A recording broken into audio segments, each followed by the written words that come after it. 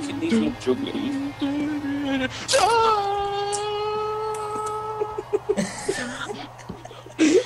I never went into.